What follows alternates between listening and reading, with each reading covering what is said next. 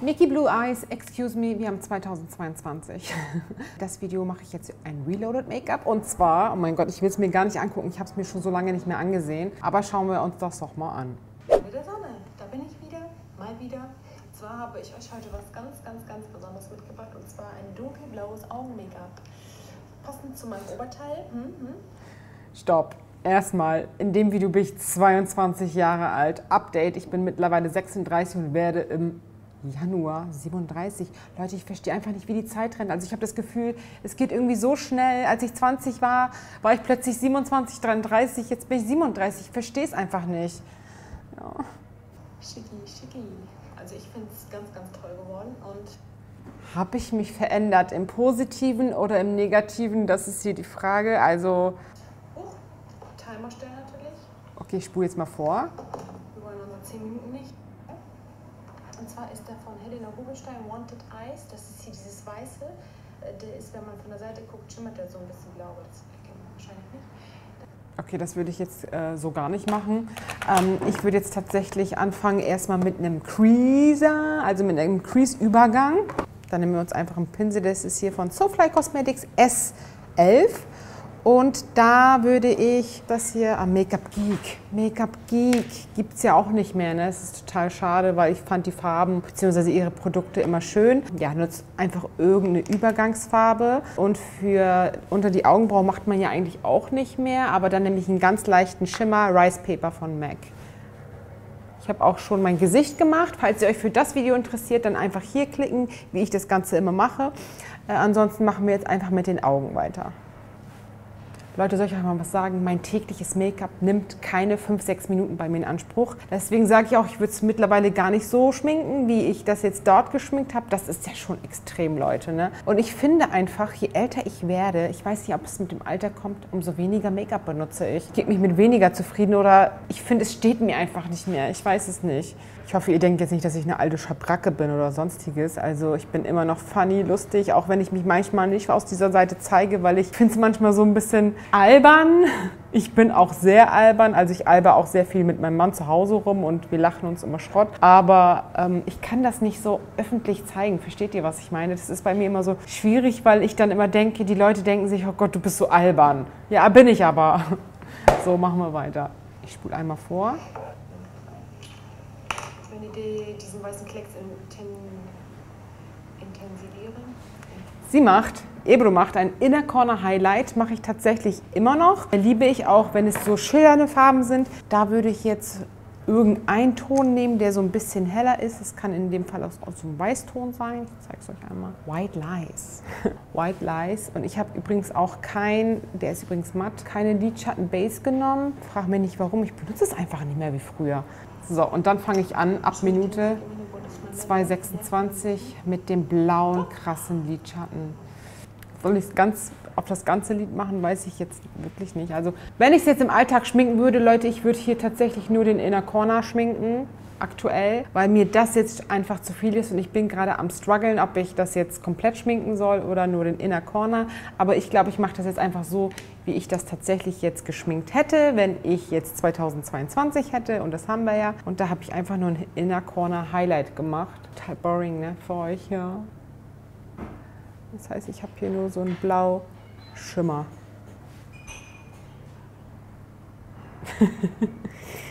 oh, das war doch ein bisschen viel, glaube ich.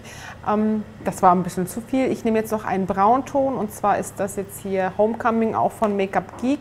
Ich habe einfach, glaube ich, heute Morgen die falsche Palette gegriffen und versuche das jetzt hier so ein bisschen auszublenden. So, schauen wir mal weiter. Das war es übrigens schon mit dem Augen-Make-up fast. Ist mir zu viel. Versteht ihr? Wenn ich jetzt hier voll drauf knall, dann habe ich ein blaues Auge und zufälligerweise habe ich heute auch noch blau an. Das ist wirklich nur ein Zufall gewesen. Okay, Eyeliner-Strich ziehen. Kommen wir zum Thema Eyeliner. Da habe ich ja jetzt das Problem, ich war damals 22 und ich bin jetzt 36. So, ich habe einfach nicht mehr diese straffen Lider wie mit 22. Das ist einfach Fakt. Und das ist hier gerade ziemlich heiß drin. Äh,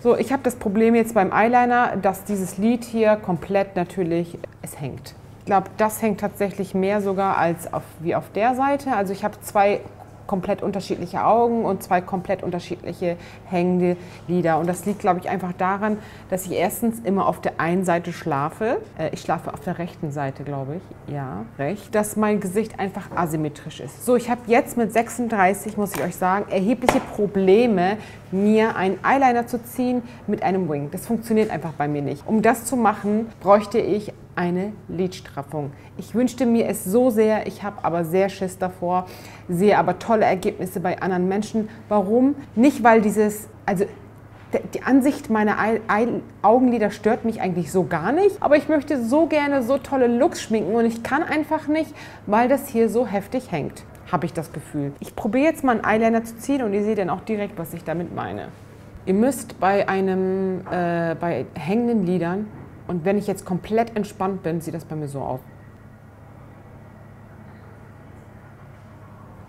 Und genau so müsst ihr dann auch in den Spiegel gucken und dann hier einen Strich ziehen. Funktioniert einfach nicht. Guck doch mal, wie soll denn das gehen? Es geht, oder ich muss da hier über die Corner malen. Ich probiere es.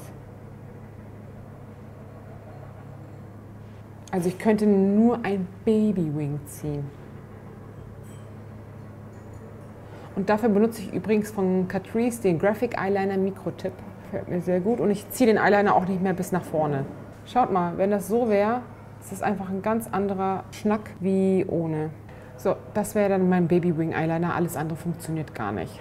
Okay, sieht gut aus, aber probier jetzt mal bitte das andere Auge genauso zu machen. Es ist eine Katastrophe, es geht nicht. Guck mal, wie elongiert jetzt mein Auge aussieht. Richtig schön, ja, aber mehr geht einfach nicht. Hat jemand schon mal so eine Lidstraffung machen lassen? Also bin am struggeln, aber ich möchte so wenig wie möglich in meinem Gesicht machen. Ja, das wäre jetzt die Eyeliner-Variante bei mir. Ich muss ehrlich sagen, ich kann andere Leute besser schminken als mich selber. Kennt ihr dieses Sprichwort? Äh, Telse kennt es die Kemmersmiede, weil Beschämide. Genau so ist das, ich schwör's euch. Mein Mann war letztens in der Werkstatt und hat das Auto gefahren von dem Typen, der die Werkstatt betreibt die Klimaanlage funktioniert nicht, äh, die Sitze waren kaputt und, und, und. Und dann hat Sami zu dem Typen gesagt, warum machst du es denn nicht? Und dann hat er genau diesen selben Spruch gesagt. Was ich jetzt noch hier anders machen würde, ich konturiere auf jeden Fall meine Nase. Das ist das Cotton Contour von Misha. Ich liebe diese Farbe, weil es nicht ein Braunton ist, wie ihr hier seht, sondern eher graustichig. Das ist mein Bronzer und das ist meine Kontur.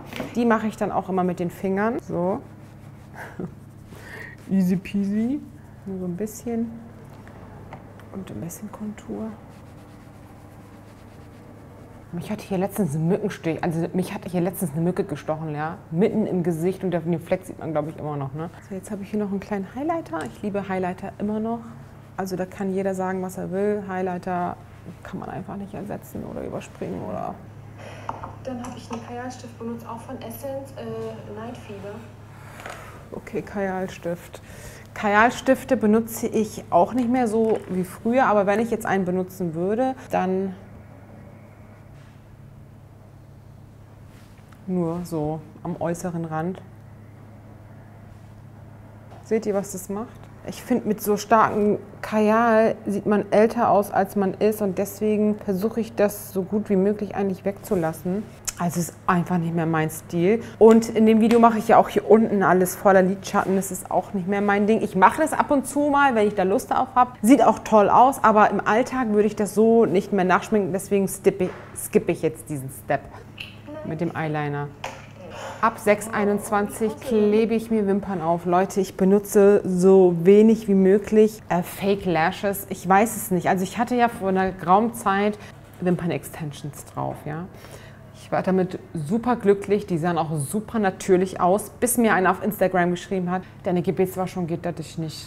Und ich so, also dein Voodoo. Und ich so, was? Und dann habe ich da recherchiert und tatsächlich aufgrund des wasserfesten Klebers kommen an deine Wimpern ja kein, Kle äh, kein Wasser mehr dran und deine Reinwaschung wird dann nicht akzeptiert und deswegen habe ich sie dann abgemacht und dann auch jetzt nicht wieder rangemacht. Aber es war eine heftige Erleichterung für mich, aber ich benutze momentan tatsächlich ganz normale Wimperntusche und da liebe ich einfach momentan die Mascara von Deloria mit der Wimpernzange in Kombi, ihr Süßen. Weil ich habe das Gefühl, die funktioniert auch nur hiermit. Aber ich wünschte, es wäre, würde die in einer wasserfesten Version geben. Das wäre so geil. Ihr seht auch, das hat einfach eine ganz andere Tuschtechnik. Ganz langsam, um wirklich jede Wimper zu erwischen. So, gucken wir mal weiter, was Madame Ebro hier mit 22 getrieben hat. So. Dann tuscht ihr eure unteren Wimpern. Tusche ich nicht mehr. Oh, ich habe, glaube ich, gerade ab. Lippen. Ich habe mein Nana Kit. Leute, der Rest, also da ist nicht mehr viel. Ich umrande jetzt meine Lippen einmal. Kann auch noch ein bisschen ausmalen. Ihr seht, das ist eine komplett andere Farbe. Scheiße. Ja, na egal, müssen wir jetzt mit leben. Dann benutze ich regelmäßig irgendein Banana Lipstick. Ich habe seit zwei Jahren, glaube ich, keine Banana Kooperation mehr, aber ich liebe die einfach total. Die funktionieren bei mir richtig gut.